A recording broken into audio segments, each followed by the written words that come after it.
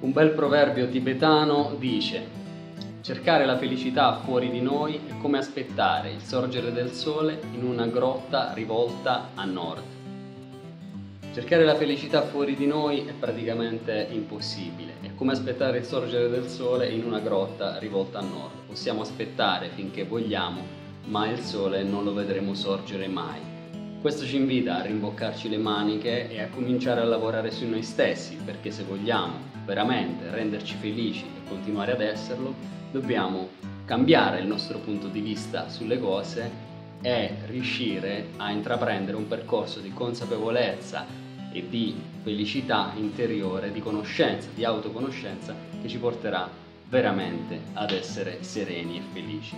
Cercare la felicità fuori di noi è come aspettare il sorgere del sole in una grotta rivolta a nord. Bellissimo proverbio tibetano.